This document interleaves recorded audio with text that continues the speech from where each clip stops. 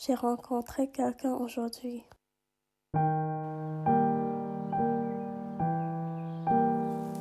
Salut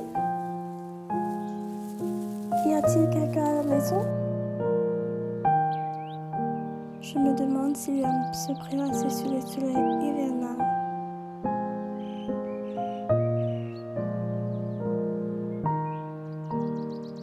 Est-il seul?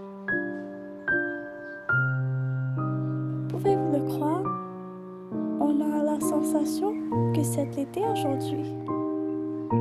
Peut-être je veux dire aller faire une promenade aujourd'hui.